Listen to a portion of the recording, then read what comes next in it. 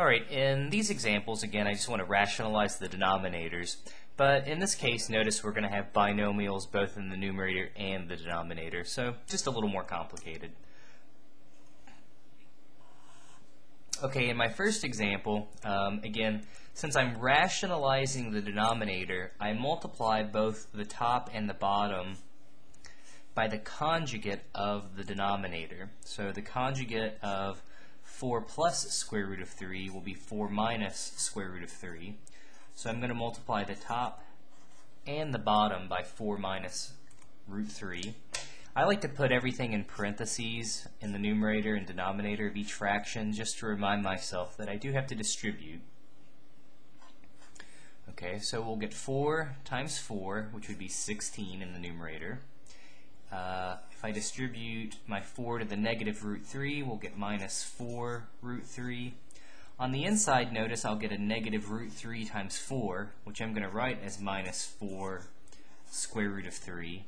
And then our outside terms, we would have a negative root 3 and a negative root 3, which would make a positive square root of 9, which again just simply gives us 3.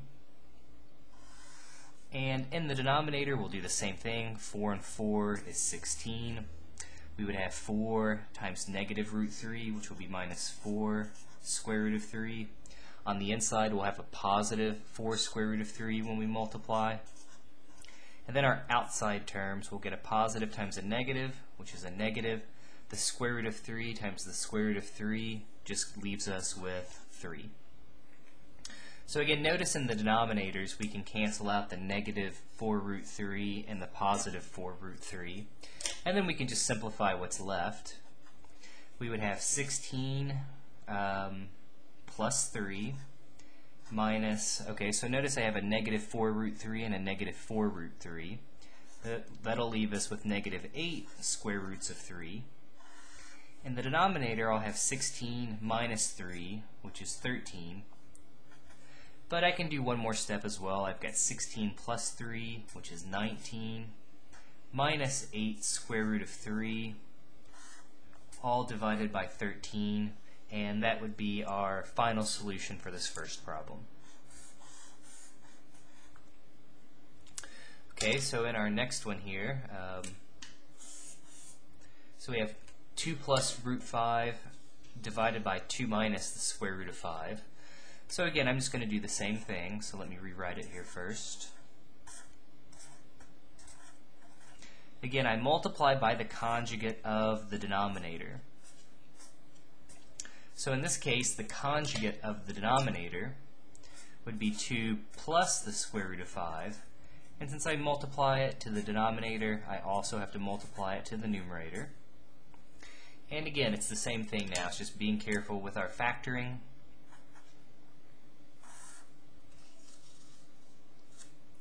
Okay, so we have 2 times 2, which will give us a 4. We'll have 2 times square root of 5, which will be 2 square root of 5. On the inside, we're going to get another 2 square root of 5. And then we'll have positive root 5 times positive root 5, which is positive square root of 25, which again is just positive 5. And then in the denominator, we have 2 and 2, which is 4. On the outside, we'll get a positive 2 square root of 5. On the inside, we'll get a negative 2 square root of 5. Then we have a negative times a positive, which is a negative, and the square root of 5 times the square root of 5 is just 5. So just a little cleanup here.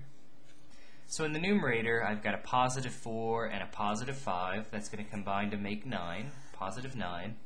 Then I have 2 root 5 plus 2 root 5. Well, that's 4 root 5. And in the denominator, our positive 2 root 5 and our negative 2 root 5 cancel out. And then I'm left with 4 minus 5, which is negative 1.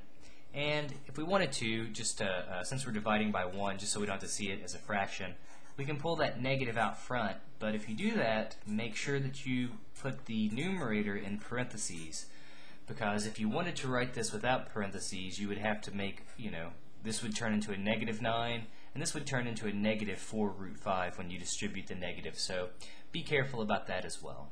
So, alright, just another two quick little examples. I hope it's nothing too crazy, um, and I hope they make sense to you.